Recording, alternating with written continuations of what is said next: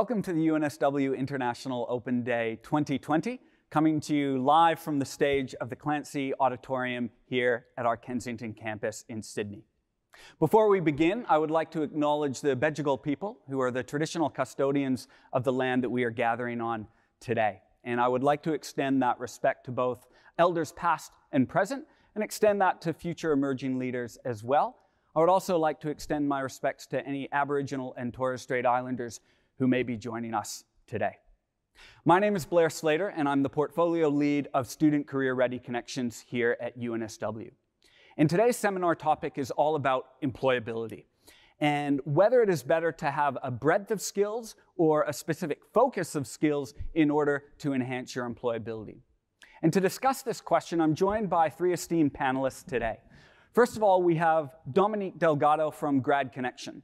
Grad Connection is Australia's largest online job uh, site and platform that connects current students and recent graduates to employment opportunities.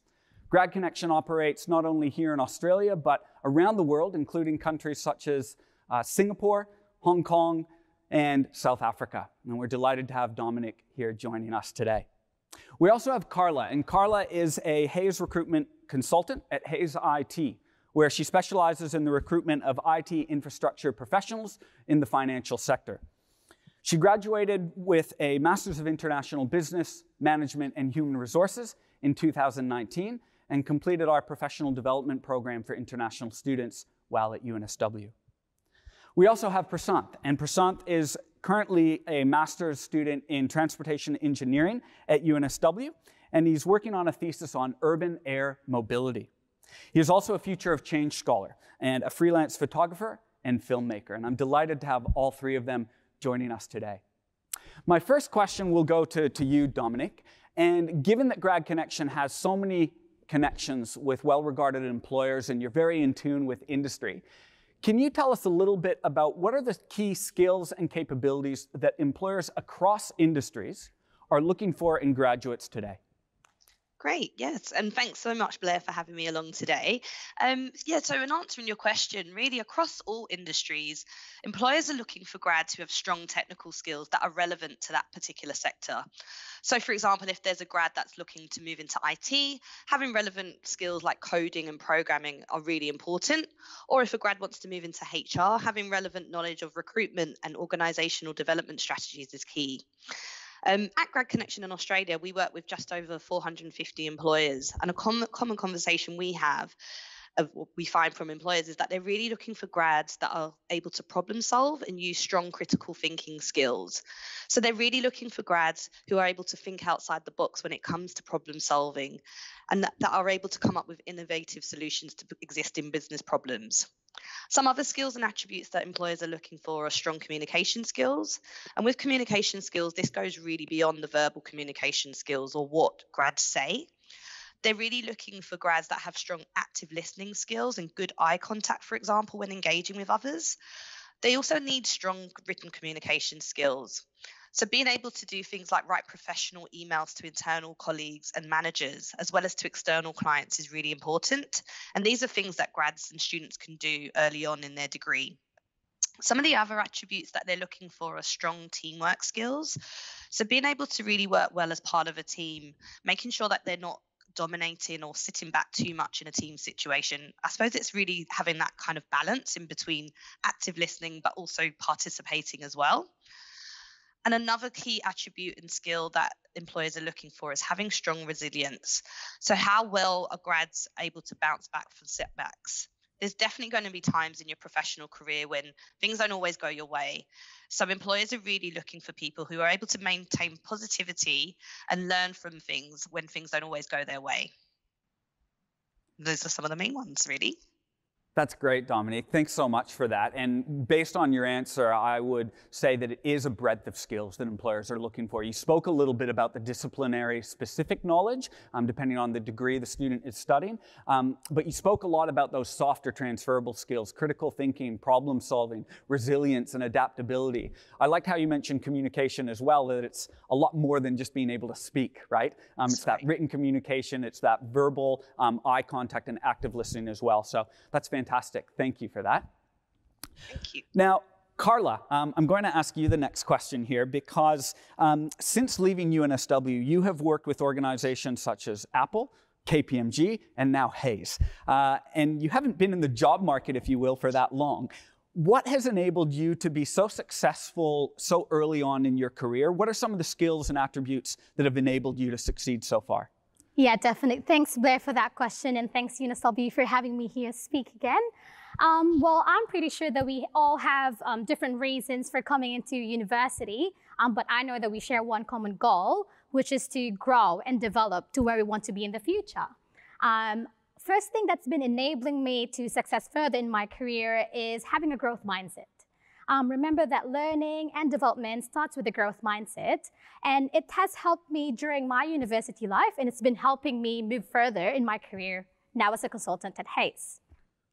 Having a growth mindset sets you apart from individuals yes, we may be taking the same degree, we may be taking the same classes, um, you and I might be doing the same roles and responsibilities, um, but what we get out of all those experiences vary as it depends on how much effort we put in understanding our lectures or classes or team meetings, how much time we allot in doing networking events outside university or outside work, and how much focus we are in achieving our goals. Having a growth mindset currently has been helping me progress as a recruitment consultant at Hays um, in terms of how I deal with my clients um, in, in, order for me to manage their expectations. Um, in, in terms of how I deal with my candidates or job seekers um, in order for me to provide market insights to increase their employability as well, and also to meet my KPIs to be on track for my promotion. Um, having a growth mindset um, helps me to be in a state um, that I don't settle for anything less, um, but always to strive and acquire new skills. Um, aside from having a growth mindset, um, another thing that's been helping me in helping me grow in my career is getting involved. yes, it may sound broad and simple, but it can mean many things getting involved um, when I was at universities, it is through internships, work experience, professional development programs uh, by UNSW Careers and Employment. At work, it may be just attending virtual meetings with my colleagues or coming into the office to do a face-to-face interaction, or probably joining professional organizations like AHRI for myself. It's really through getting involvements that you really get a better understanding of yourself and as well as the culture that you're in and for you to gain uh, a better insight of the market that you're in. So yeah, I think those two things, growth mindset and getting involved, um, have helped me when I was studying in university and definitely has been helping me uh, move, move forward in my career. Great, thanks, Carla. And I've personally enjoyed watching your career journey thus far and, and continue to monitor it. And you touched on two really important things there, I think. Um, obviously, that growth mindset and seizing opportunities, right? Identifying opportunities and being proactive. And I think that's a nice segue into Prasanth, because Prasanth, you and I met um, first when you completed our professional development program for international students. And you obviously demonstrated a proactive approach in applying um, and becoming part of that program. And then, again, through season opportunities, you are able to turn your workplace experience um, into a part time job now working with UNSW. So, I want to ask you, as a current student, what advice do you have to future students on how to make the most of their time here at UNSW? All right. Uh, thanks, Blair, for the question. Um, you know, to be honest, when I was applying for the professional development program, I had zero clue on what that is and then what that entails. But when I got to know this program is specifically designed for international students, that's when I got to know what it has to offer. And um, you know, coming from a foreign country, there's a lot to expect in um, you know this country, like Australia, for example, uh, the work culture. Because in India we have this cubicle system where uh, every employee is is given a cubicle and they're worked, uh, they're working on their computers. But when you come to Australia, we have these open systems where there's nothing called cubicle. It's all open. You know, uh, a boss can see the employee, and an employee can see the boss, and everyone can see everyone, right? And that's one uh, thing that I had to learn before me getting into the workplace. And the second thing, uh, you know, the language that they use, the slang that um, these common Australians have, this is not something I got to know while I was in India because in India there there are some strict rules in terms of you know calling your boss you know sir and stuff. But in Australia you call them by their name. That's really interesting when I got to know here. And um, after I applied, once I got through these seven weeks, then I got to then I am confident enough to go outside and then I know what to expect. I know how I should behave so that it makes my job easier and as well as the employer as well. And then you have that trust between each other. And then obviously then the work that I do will, the work that I do will definitely be progressive. And uh, if I have to give any advice for the future students that who, who are applying for this professional development program, I would just say that until and unless you try, the answer is always a no. So just apply for it. Then you'll understand what you're good at, what you're not good at, and then you'll understand what to expect in the future, um, you know, workplaces that you would be going into. So it's better. And then uh, one of the biggest things that you will uh, be able to get in UNSW or any university uh, to make the most of it, you know, you know what you signed up for as an international student coming to a different country. So make the most out of it by participating in the events, uh, you know, uh, participate in the, you know, the, the activities or the clubs and societies. I didn't know when I came to UNSW there are hundreds of societies that were specifically designed for students. For example, there's a society called Tea Society, Tea and Coffee. I, I didn't even know there's a society for that. I mean, so you know, get engaged, so you'll then you'll you will grow your uh, you know thinking uh, your mindset will increase so that's all i guess it's it's simple just apply That's great. Thanks, Prasant. And again, touching on just that proactive approach that you've taken to be able to take advantage of those opportunities. And for those of you wondering, the Professional Development Program for International Students is a three day seminar career development program that is run twice a year at UNSW. Uh, so it includes those three days, plus the opportunity to complete a 50 hour workplace experience here on campus, which Prasant successfully turned into then uh, a part time job here at UNSW. Uh, my next question is going to go back to um, Dominique. Dominique, again, you're working with so many employers um, who obviously, I think, like UNSW students. UNSW was very honored to receive Grad Connections uh, Most Employable University Award last year as a result of the strong UNSW students that applied. In thinking of, again, those capabilities, the, the world is constantly changing. So, what advice would you have to current students today to be able to stand out amongst other candidates when applying for roles with many of the organizations you work with? Sure. No, thanks for that.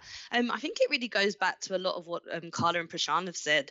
Um, getting involved and having that growth mindset um, employers are really looking for grads that have what I call work ready skills. And what I mean by that, it really goes beyond by what you studied academically. How do you differentiate yourself from your peer who studied the same degree as you?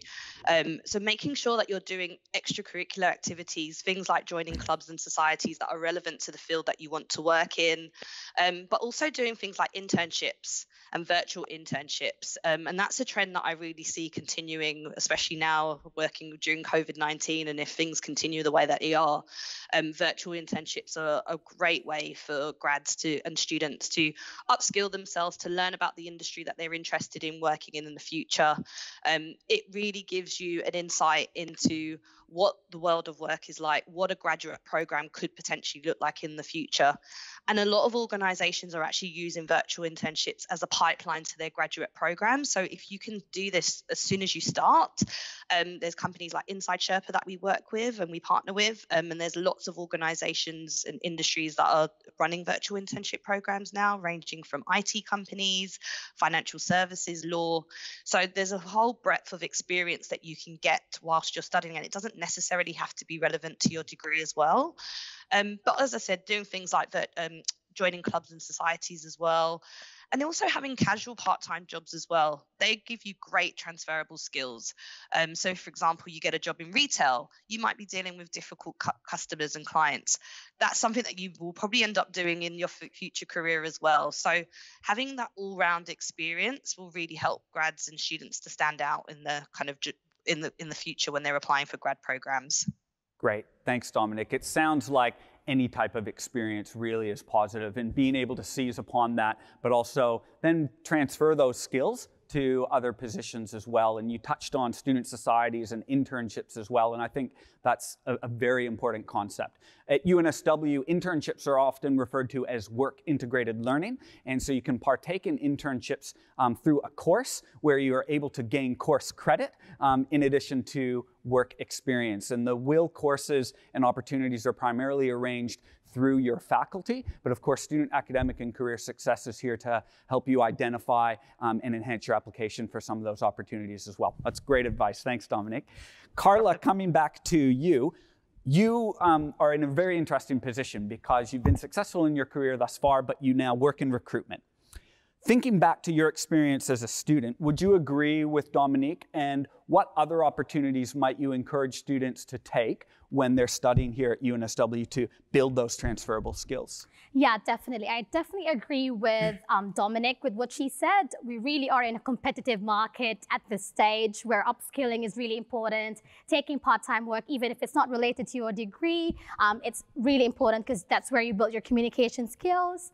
Um, for me, uh, something that I can advise or something that students can take advantage of is really um, making your personal brand um, better. So personal branding for me is really important because um, like what Dominic um, said, differentiating yourself with others can take you places. Um, so think about your elevator pitch, which is what we learned back at Careers and Development Program with Blair. Um, Personal branding indicates what you have to offer. So that would be your transferable skills, your contributions, your values, your past work experience, even in retail or something really related to your degree, um, can help you a lot. Um, something that you can do is it's as simple as tailoring or customizing your CV or resume based on the role that you're applying for um, can really show that you are really um, taking care of your personal brand. So what you can do is analyze the job description, ma match your skills with the relevant requirements of the role, um, and hopefully that you'll get a, your foot in the door um, in the company that you're applying for. Um, probably I can share my experience back while I was studying at university. I was also doing part-time work at Apple as a retail customer service person. Um, so even though that wasn't related to my degree as an international business, it helped me deal with different uh, difficult customers, like what Dominic has said, um, in order for me to practice my problem-solving skills, my communication skills, my personal, my personal, interpersonal skills. Um, so I would advise the students um, in UNSW is to really um, be proactive in joining career development programs, is really, um, and also to immerse yourself out there, doing any work experience that might be or not related to your degree, but it definitely will help you um, shape your um, skills and that can help you progress in your career moving forward. Great advice. Thanks, Carla. And you touched on personal brand, and I think that's becoming um, ever more important, especially now when we consider the wide use, um, not only in Australia, but the global employability market of LinkedIn and how you tell your story, right? How do you talk about your experience and your skills? It's one thing to have that, but then how might you market yourself and describe your experience to employers? And at Careers and Employment, um, coming in to speak to any of the career development learning facilitators, that's a great opportunity for you to reflect on some of your experience, whether it be in your home country or here in Australia, and how you might collectively put that together on your resume like you have uh, so done so um, so well. Now, Prasanth, I want to um, ask you a little bit again about your current experience here at UNSW. Right. Coming from India, coming to Australia, and being overwhelmed perhaps by all the opportunities, I feel as though you've demonstrated really strong adaptability in terms of adapting to the different demands, um, the pressures of university, but also the opportunities. Can you talk a little bit about, um, you know, how important has adaptability been for you in order to seize upon the opportunities available at UNSW? Uh, right. Uh, again, thank you for the question. Um, you know, uh, adaptability is, it, it, has been one of the biggest factors for me uh, when I came to Sydney because when you do masters in a different country, you're not only going there for academics. You know, uh, you become this whole new different person. You know, you start to cook your own meals. You start to do your own chores, and uh, you know, this is this is where you become self-aware. And then, you know, once I started to do this job, uh, I was doing a part-time job with the food industry, and then I was also dealing with some customers who are really, really bad. But the, the only thing I could do is just smile and then say, I'm sorry, right? And then this, this helped me to, uh, you know, understand how the market really is. And, uh, you know, uh, in, in terms of the courses at UNSW while I was doing, so the courses are designed in, in, a, in a way that these courses are self-taught, only the basic material is provided to you, and all you have to do is go to the internet, search your own stuff, and get the job done. And my professor used to say this: uh, if if there was any assignment, he just gives gives us instructions, and uh, you know just find it out in the internet and then get the job done, right? And in in this progress, you will get to know that you know to do one job, you will def uh, definitely find other skills which you will adapt later right and then uh, th that's one, one of the biggest thing i've learned and uh, you know uh, for example the linkedin post that i have done recently i had never seen such traction to one post i've done this uh, professional development program and then successfully landed a job. Though it was not a direct job my supervisor asked me if i was interested you know uh, so i can only say that connections do matter sometimes. And uh, with that LinkedIn post, Blair contacted me, then said if I can share my experience. I was really overwhelmed, and um, so I think when you when you when you come to a different country, you should you should be this person who should test all the waters. So that's what I believed. So I wanted to become this jack of all trades. You know, do different skills so that you'll figure out what you really want in your life. I might be doing transportation engineering, but I'm also doing filmmaking. I'm also doing photography. I'm also doing different other stuff where I'm still trying. I'm 23 years old, so I have so much more to go in my life. So maybe further in in the progress, I will definitely know what I want. So I would definitely recommend that having a wide range of skills definitely be an asset to you and also the employer. But one thing I would like to specifically point out um, is that you know one of the biggest reasons that you have to hire fresh graduates is that you know they have the hunger to learn. You know, I am I'm, I'm really passionate, right? So you have this technical skills that you've learned in university. So uh, you know, when an employer hires you, obviously uh, with that passion, uh, you know, you have a lot of opportunity to grow, and that's what I would appeal to the employers out there. So, yeah. That's great. Thanks, for Prashant. you touched again on taking advantage of those opportunities, being proactive. Uh, Dominique, you mentioned a little earlier the importance of initiative. And I really feel as though the two of you have taken initiative in your current experience here at UNSW, in your current career as well. Um, and it's no coincidence that you've been successful thus far. Um, and I think have been, you know, obviously highlighted um, by employers that Dominique and UNSW work with. In the final two minutes that we have here, I would just like to ask all of you um, to come up with a one sentence short piece of advice to future prospective students that are out there. We understand and appreciate that it can often be overwhelming when thinking about your university experience. So, quickly, we might start with Carla and then we'll finish off with um, Dominique. But, Carla, what would be your one piece of advice to future prospective students? Yeah, thanks for that question, Blair. Probably I will repeat what I said earlier, um, that remember that learning and development starts with a growth mindset. Terrific. Thanks, Carla. Growth mindset. Prashant? Um, I would be uh, sim simple. So take one day at a time. Just focus on today. Uh, tomorrow you've got another problem. Day after tomorrow you've got another problem. But focus on today, and then uh, you'll be great. Absolutely. One day at a time. I imagine the two of you, had I asked five years ago, would you be on the stage in the Clancy Auditorium with me? You would never have imagined, right? So one day at a time, and you don't know what it will lead to. Um, Dominique, what would be your one piece of advice to future students? I would say build your networks um, and use everyone at university as a, as a potential network for your future. This could be people within your course, your lecturers. Um, if there's ever um, industry events that come in that, that are organised, make sure you ha- engage with those people as well, because you just never know where having those networks and those contacts could lead in the future. Fantastic. Thanks, Dominique. I like how you said you never know. And I think that, you know, that is a bit of a summary. You spoke about you don't know what you don't know. You didn't know about the professional development program. Um, Carla, you didn't really necessarily know at first how the skills you acquired while working at Apple would then lead into successful opportunities with KPMG and Hays. And Prashant, likewise, how you didn't know certain opportunities and doors would open with the professional development program. So I want to thank all of you, Dominique, Carla, and Prashant, for joining me here today in the Clancy Auditorium auditorium to sp- speak about employability and how um, really a breadth of skills is going to help you enhance your employability.